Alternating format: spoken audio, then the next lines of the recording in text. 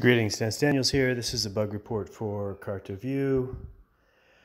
Uh, you can see that it shows that uploaded tracks is 901. I have uh, uploaded uh, multiple tracks since December 11th. Today is December 21st, and I have uploaded at least at least seven maybe eight other tracks that are not showing up in my uploaded tracks and are not showing up as uh, as part of my profile as well. Um, so the tracks are not the uploaded tracks are not reflecting in my profile and they're not reflecting on the KartaView map. Uh, this is version 5.21. Thank you.